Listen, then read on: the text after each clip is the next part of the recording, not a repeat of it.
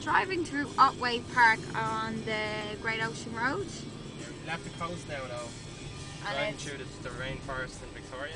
yeah, Gordo's still driving because I'm um, the roads are quite windy, so you should be pretty careful. And Forest this, on and miles this on the boat and motorbike has been, we've been behind him for ages because he drives so slow.